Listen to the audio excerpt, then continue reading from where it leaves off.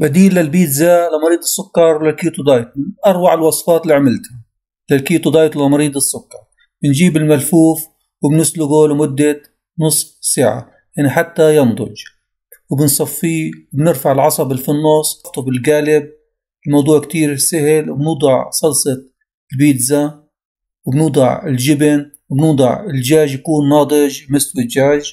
بنصفط راقة من الملفوف أو طبقة نوضع صلصة البيتزا قليل من الجبنة أو حسب ذوقكم ودجاج يكون ناضج الدجاج.